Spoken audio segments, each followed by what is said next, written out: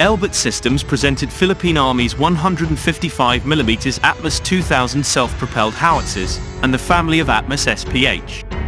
Elbit Systems showcased the family of Atmos self-propelled howitzers on a 55-second video, including the test firing of the 6x6 version of the Philippine Army's 155mm Atmos SPH.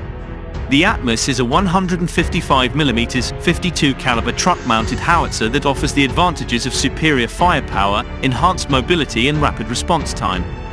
Highly adaptable, the modular Atmos system is compatible with any 6x6 or 8x8 high-mobility tactical truck. Atmos supplies fire support for all types of missions and can be easily interfaced with customers' existing C4I systems. Atmos is a 155mm 52 caliber self-propelled gun system manufactured by Israeli military manufacturer Soltam Systems.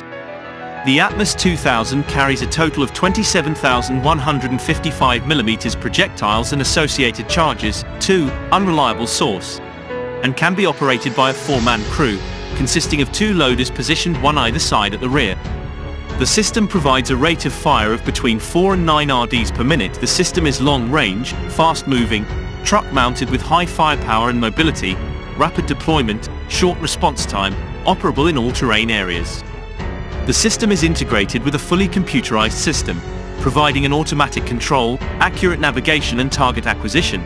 The system is offered with various gun barrel lengths, ranging from 39 to 52 caliber, in order to meet different customer requirements the Philippine Army acquired 12 platforms of the 155mm Atmos 2000 self-propelled howitzers, and now being used by the PA Army Artillery Regiment and the 10th Field Artillery Rolling Thunder Battalion, acquired under the Horizon 2 phase of the revised AFP modernization program.